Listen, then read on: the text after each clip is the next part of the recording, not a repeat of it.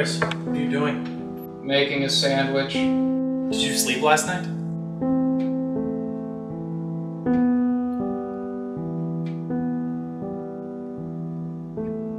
What were you doing? Researching for the last story. Anything interesting? Yeah, there's this interview with Iwata where Sakaguchi talks about the development process. Those are people, right? Yeah. Can you believe they spent a year and a half in pre-alpha? I could if I knew what that meant. Just meant. in this blank blocky arena. Not even any character models. Just this red guy called Tofu-kun.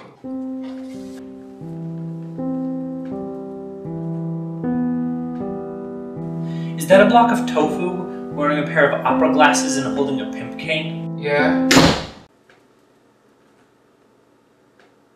Dear Masahiro Sakurai, I know you're really busy in Japan, and your back probably hurts from having to sit on mats instead of chairs at work, but I want to ask you something.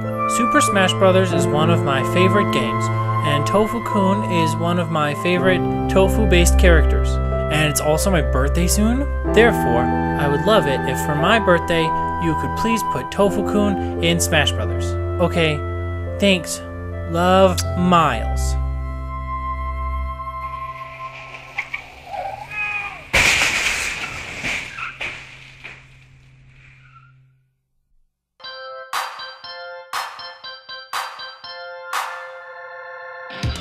Hey everybody, and welcome to the second episode of Jack All About Gaming, and the second part of our Rainfall trilogy.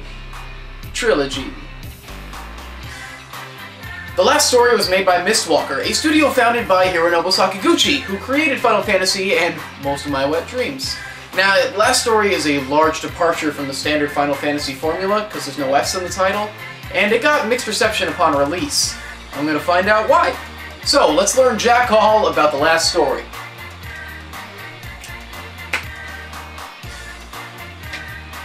The calendar for April.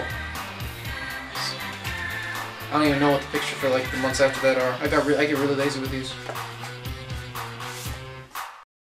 Let's watch Jack all about gaming, where some guy pretends to know about gaming. This show is too cheap for a real song. Jack all about gaming.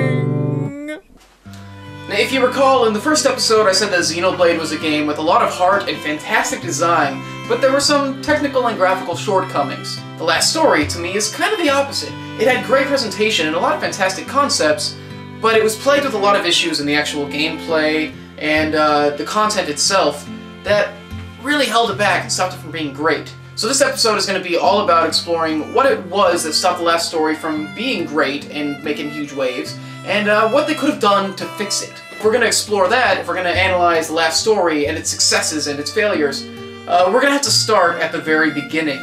What kind of game were they trying to make?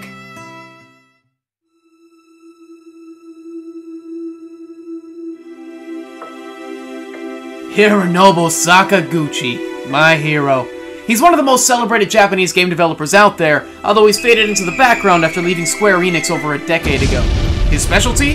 RPGs! Final Fantasy, Lost Odyssey, rocket launchers. All RPGs? All very different. Each game, he tries to tell a different story, and the rest of the game just builds around it. The last story came after a rare break in Sakaguchi's formerly frequent release schedule. It was developed by Mistwalker, the studio that he formed after leaving Square, and it was the most involved he'd been in a game's production since Final Fantasy VII, and his first time as director since Final Fantasy V.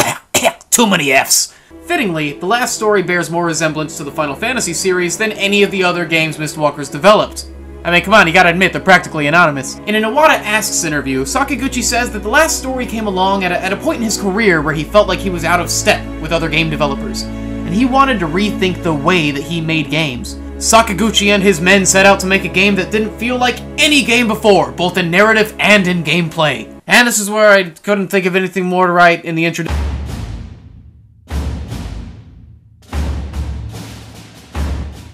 Last story is an action RPG, and while it may seem like that would make it similar to Xenoblade, the comparisons are actually few and far between.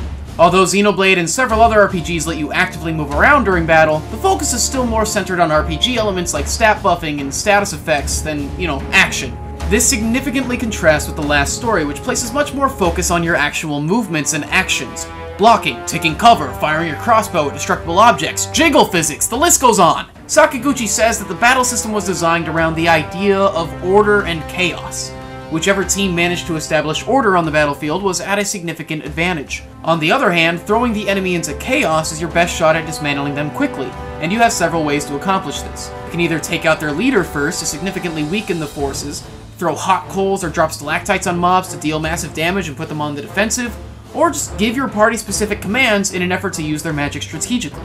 The biggest tool you're given to control the flow of battle is Gathering, the signature ability of the main character Zael. After you gain it near the beginning of the game, you now have the ability to make all enemies leave your allies alone to focus on you. Though that may seem risky, there are numerous advantages as well.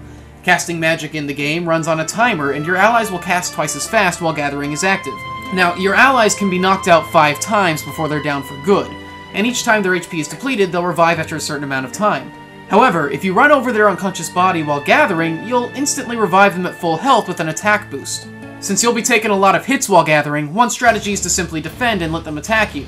Each time you're hit, you store a little energy. Then, once you stop gathering, you'll send out a burst attack that damages all the enemies on the field. So gathering, it's, it's uh, it's got a lot of upsides. Along with gathering, Zael is also equipped with a sword and a crossbow. Although there's an option to attack manually, the default sets your sword to automatically attack when you push the control stick towards an enemy. The sword strikes themselves are very flashy, and critical hits get a special animation that's incredibly satisfying. Switching to the crossbow is a simple button press, and aiming is very smooth. Honestly, if I had to sum up the entire battle system or a baby's ass in one word, smooth is a very apt choice. Zael vaults over his allies in cover, kicks over hot coals, and runs up walls in an incredibly fluid fashion that just feels nice. If you need something to contrast it with, let's just say that he feels nothing like the clunky, jerky Sora from the first Kingdom Hearts. The rest of your allies are just as fluid, and the AI is pretty intelligent when it comes to how they utilize their magic. Without spoiling much, let's just say there's a point in the game where you get to play as each party member in turn, and each one of them has their own unique feel that works quite well. I think my favorite part of the battle system, however, is the strategy segment that appears at the beginning of several battles. The action pauses and you get a bird's eye view of the arena, and your allies kinda chip in on strategy as you look at what enemy units and environmental weapons are on the field. It helps each battle feel like its own challenge, with its own specific method for safely routing your enemy. I'd say that it truly feels like you have agency in the battle. While in Xenoblade, you often find yourself standing there as you wait for auto attacks to whittle down larger enemies, the last story's battle system actively engages you all the way through, and it feels like you yourself are struggling to establish order on the battlefield. Outside of combat, the last story puts its own spin on many RPG staples. The arena Mistwalker puts in place is one of my favorite arena systems in gaming. Instead of just a gauntlet you slowly whittle your way through like in Paper Mario or Star Ocean till the end of time, the arena throws you into a labyrinth of cells that each contain their own challenge, with vastly different groups of enemies and environmental weapons. But the cherry on top definitely has to be the arena's color commentary announcers who are giving you the John Madden treatment the whole time. Boom! Tough acting connected! The last story also has a weapon and armor upgrade system in place. Using resources that are dropped by enemies and found in chests, you can slowly build up various swords and armor pieces little by little, with some of the later transformations giving you some incredibly badass weapons, in exchange for some incredibly badass resources. Although the armor's stats aren't nearly as varied and customizable as the weapons, it does lead into the last gameplay feature in the last story, character customization. Although the names and voices are locked in for each playable character, their clothing changes drastically based on the armor pieces that they have equipped. On top of that, you can color their clothing and armor with whatever dyes you want, especially as you collect materials to make more dye. As the armor levels up, the outfit gains more pieces. The nifty part of the whole deal is that you can pick and choose which pieces of the armor actually show up. Customizing the outfits yourself is a seemingly small step that goes a long way towards making it feel like your story. Hell, you can just have everybody fight in the nude if that's what you're into. you know, you're weird. You guys are weird. As far as plot goes, the last story is actually pretty standard. It's a fantasy love story between the mercenary Zael and the princess Calista. And of course, in standard JRPG fare, things escalate until the world's at stake. There are several plot twists and hijackings by a higher power, and while it doesn't reach the heights of storytelling that made certain JRPGs instant classics, it's far above the worst we've seen. Now, I'm not going to talk too much about the actual details of the story, because to me, the plot had very little to do with the actual success or failure of the last story. Uh, what I am going to talk about is how they tried to fuse the story and the gameplay together. That is interesting, and to me, a pretty huge success. This is something that Sakaguchi talked to Iwata about at some length. How do you make the player feel the story events even more powerfully? Well, Mistwalker planned to achieve this by enforcing the reality of the situation into the battles. For example, at one point of the game, the group is split. You fight as each party member in turn as they face overwhelming odds, and you realize just how much harder the fights are when there's not a whole squad to back you up. There's another point in the story where Zael is trying to prove himself to one of the army's top men. You then have to run a several story gauntlet by yourself, facing different challenges that require you to fill different combat roles. Finally, it culminates in a one-on-one sword fight against one of the game's toughest bosses. This is one of the few times where an RPG praises the player character where I actually felt like I earned it. This ain't no Pokemon Y, oh you beat my level 3 Pidgey on the first route with level 5 Fennekin, all hail my Pokefuhrer, bull snakes! You yourself actually showed a proficiency in the battle system beyond just button mashing tackle. Honestly, the more I think about it, there are a load of memorable battles in the last story. West Side Story boss, Spooky Ghost boss, Hentai boss, and that's because the fights are tied so well into the story itself. It rarely feels like you're arbitrarily stomping out poo snakes, because the reality of the situation is brought into each conflict. Is it perfect? Nah. But it's one of the highlights of the game, and frankly, a lot of RPGs could learn from it. Of course, all of the effort put into the gameplay and writing means nothing if the developer's intentions and themes don't get across to the player. Sakaguchi spent quite a bit of time with the character designer Kimihiko Fujisaka, creating the aesthetics of his world. They wanted to, first off, create a female lead who you could really fall for. And the interview just got got really creepy from there on out. I've got to say, the character models in the last story are the best looking out of any game on the Wii, out of the ones that go for some kind of realism anyway. Comparing it to the models of super stylized games like Galaxy isn't really fair. The characters are all distinct, and the environments have a polish to them that makes the game very easy on the eyes. Nothing I don't want to bone, though. You know what Mom said about sticking your dick in the scenery? Don't, don't do it. That's what she said. She said don't. The soundtrack isn't lacking any of that polish either. Each piece is beautifully orchestrated and sounds full. There's no irritating loops or oddly scored scenes to be found. From a technical standpoint, it's a very tight ship, and it makes a lot of sense when you see how much stress Sakaguchi put on building the aesthetics. Okay, so clearly, the Mistwalker team had a strong vision. They could do great work, which we saw through some of the presentation, through uh, the graphical polish, through some of the elements even. Uh, so, why did the last story, a game whose brethren made waves in the RPG world, make only the tiniest of ripples? They didn't finish it. Wasn't finished. They, just- they gave us like half a game, basically.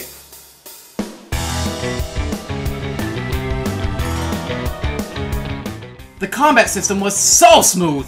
It was fresh, responsive, and most of all, functional. However, no matter how great the foundation of a building is, it's not all that impressive if the only thing you build on it is a one-story stickouts with no bathroom. When I first got into the game, I was stoked. The building blocks that you're taught in the tutorial set you up for a great experience, and honestly, the fights don't really stop being exciting all the way through the game. All of the disappointment came from a lack of things to do with the great core system.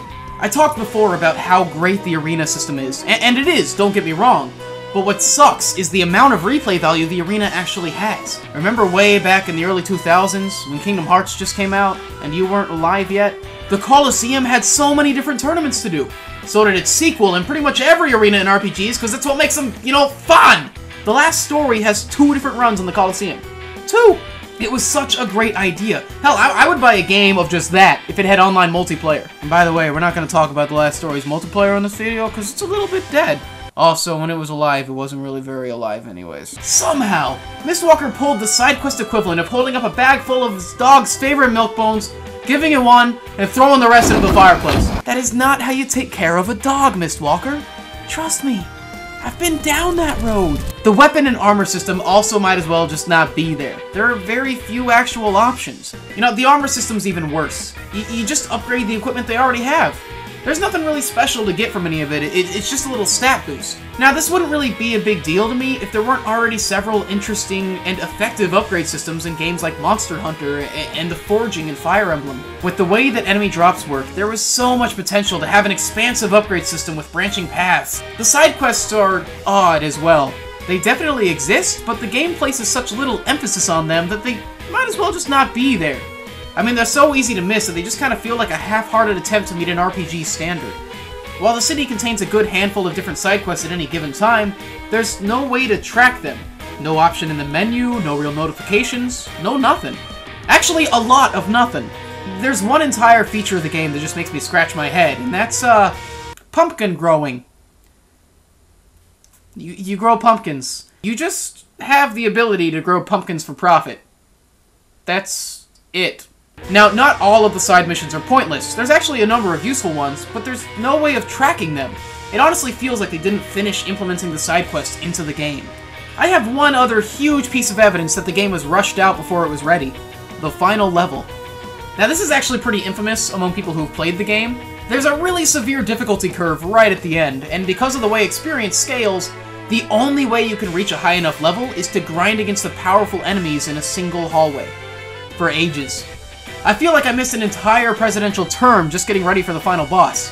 And this huge level jump leads me to believe that Mistwalker had to cut a lot of the game they wanted to make just to get it out on time. When you add in the fact that there's a severe shortage of abilities for your characters to learn, they get like 3 in like 80 levels, it's hard not to assume that Sakaguchi had originally expected there to be much more content. Because, you know, most of his games have a lot of content. So, where did all that content go? Well, I think the causes are twofold. The first cause was the limited power of the Wii, and the second was the amount of time spent developing the combat system. First, the Wii. It's no secret that it was the least powerful system of its generation, and getting it to turn out cutting-edge graphics along with dynamic gameplay was a real challenge. Now, I said earlier that the last story was among the best-looking games on the Wii, and that came at a price. The more complicated the particle and lighting effects got, the less processing power there was to devote to running the AI and, you know, everything else. This is where the combat system comes in. Sakaguchi shed a little bit of light on the development process in his Iwata Asks piece, and it turns out they spent a year and a half simply working the combat system with some basic prototype models. They were creating an entirely new and unique combat system, and they wanted it to be as dynamic as possible. On the Wii's hardware, that was no mean feat. Alright, just think about it this way. When Naughty Dog set out to make The Last of Us on the most powerful console of the generation, they still couldn't accomplish what they wanted to with the AI. The last story was trying to do something fairly similar with their own combat system, taking a stab at having both sides respond intelligently and dynamically. The challenge of turning enemies from dumb cannon fodder into legitimately threatening, intelligent beings has taunted game designers for years, and maybe the Wii wasn't the best platform to experiment on. With all the time spent getting the combat to work, that meant less time spent in other areas, and I think side content was in that group. To the team's credit, they got the basic pieces working quite well. Even though the arena is lacking in content, it's still fun and a great way to do arena-style combat. However, that just made it all the more heartbreaking when I checked in constantly looking for new seasons and was turned down time and time again. It's prom all over again! And now for the big one. Gathering. Along with being the combat system's main feature, Gathering is also the reason that Sakaguchi claims the combat system spent so long in development. They struggled to find a balance and the best way to integrate Gathering into the game. For them, it was a literal representation of trying to establish order over the battlefield. However, in many reviews, Gathering is called broken, and I have a hard time disagreeing. In virtually every combat scenario, there's no reason not to be Gathering the entire time. With the buffs it provides your party while also preventing any of them from being attacked, it's so easy to just gather and defend while they pick everyone off. It essentially gives you full control over an aggro system, a common device in action RPGs and MMOs, which is usually more foe than friend. It also creates an environment where not maintaining your HP is somewhat rewarded. I'm not going to pretend to have an intimate knowledge of the programming process, but I bet this isn't the final product Mistwalker was hoping for when they started Gathering. Now, this sums up, in my mind, the main failures of the last story. Uh, a lack of content, a strange disconnection between a lot of the content that's actually there, and some elements, like Gathering, that really could have used more work. Now, with how polished the graphics, sound, and basic elements are, it's very likely that Mistwalker would have made all of this stuff great if they'd had more time. However, with how long it took them to get just the combat system working, I mean, this game was in development for, for years, for a very long time, uh, they probably couldn't afford to push back release anymore. At some point, you gotta start making money and stop spending it.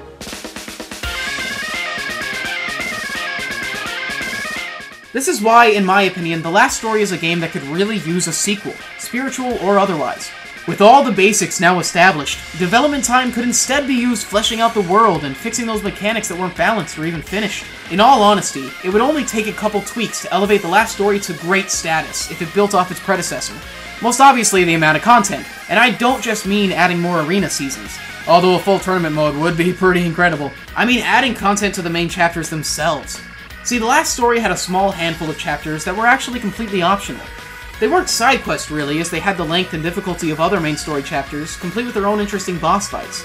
I wouldn't be surprised if there were more initially planned, but had to be cut because they didn't have time to finish making them. The members of your party were all interesting, but most were very lightly touched on. The optional chapter that dealt with Yurick, however, was one of the high points of the game from both a gameplay and a story standpoint. If each character had their own series of optional chapters, it would be a great way to help players level before the endgame, and add length to the story without it feeling like filler content. How cool would it be to explore each of the characters that way? I know this might seem like an odd suggestion, but players should have the option to play as somebody other than the main character. I wouldn't have even thought of this if it wasn't for that section of the game where you get to control each character for a few minutes. It's honestly impressive how well done each of the different fighters were, and it's heartbreaking that those few fleeting moments are all we get. Again, something I think Mistwalker intended to include more of. It helps keep the game much fresher if you're able to switch up the character you play as every now and then, and it opens the door for co-op play. Of course, the chief reason you play as Zael for a majority of the game is because of Gathering. And honestly, Gathering is potentially the biggest issue to fix. I'm tempted to say that Mistwalker should have just thrown it out the window, that their devotion to including Gathering ultimately held the game back. But the truth is, Gathering is interesting. And it does bring a new layer to the combat. It just wasn't perfected. My first thought is to give it more downsides. Maybe make it so that your guard is easily broken when you gather, which would eliminate the turtle strategy entirely and make the game much more challenging. Of course, checks and balances go two ways, and another option is to focus on creating other powers instead. Equip the rest of the party with unique powers that make them just as tantalizing to the player as Zael. I mean, heck, while we're at it, let there be enemies with abilities that can directly combat gathering. Or, I mean, just let them gather themselves. How terrifying would it be to suddenly have control over your movements and attacks arrested from you due to an enemy's skill? Pretty darn terrifying if they found a good way to do it. For all of the faults that the last story has, almost all of them feel like elements that just need to be expanded. Not terrible ideas that shouldn't be revisited. Just like Final Fantasy, it could take a few entries in the series to really maximize its potential. And I genuinely hope that's what Mistwalker has going on. They haven't announced anything since the last story was released, but they have teased a sequel every now and then, if they end up announcing one, I'll be immensely interested. With everything they learned from the last story's experiments, and with the much more powerful Wii U on the market, another story has the potential to take the RPG world by storm. If you're an RPG fan, I would check out The Last Story, if only because of how interesting some of the ideas it presents are, and how well done some of the pieces are. The graphics and music are great, and the story, for only being about 20 hours long, is still actually really good. However, if you can't find it, you can't afford it, or you just don't care, that's fine. This isn't a big deal if you miss it. The bits of brilliant design are really weighed down by the general unfinished feel, and that's really what stopped the last story from uh, becoming the great game it could have been. And that sucks. Let's just hope that the reason that Mistwalker has been quiet the last couple years is because they're working on a sequel that fixes all these issues, and Sakaguchi will burst back onto the RPG scene.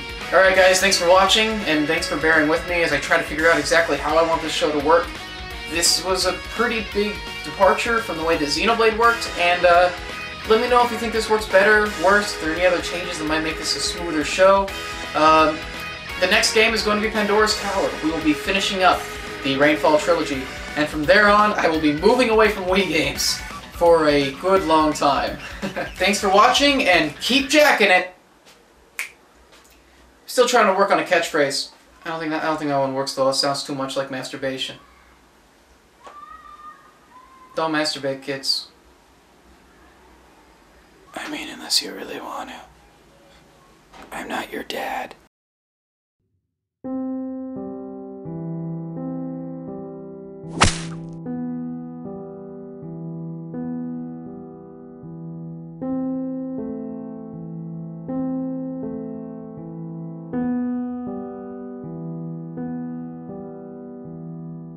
Dear Miles, I have received a request, and after much consideration, you ought to be castrated and removed from the gene pool. I'm fed up with you prepubescent sack clickers and all your bullshit character requests. You guys think your suggestions are so important, but every time I want to suggest something for your successful franchises, oh wait, you don't have I thought about putting in King K. Rool. But then I realized you don't give me your money anyway. You want Goku so bad, then why don't you go play Shonen Jump game, fucking idiot? God. Mewtwo might seem popular, but he actually is kind of testing poorly outside the autistic demographic. Ridley isn't too big. I just hate you. Tofu-kun, why don't you eat some meat? Something that doesn't require 8 pounds of soy sauce before it tastes like anything. You know I look younger than I did in 1985?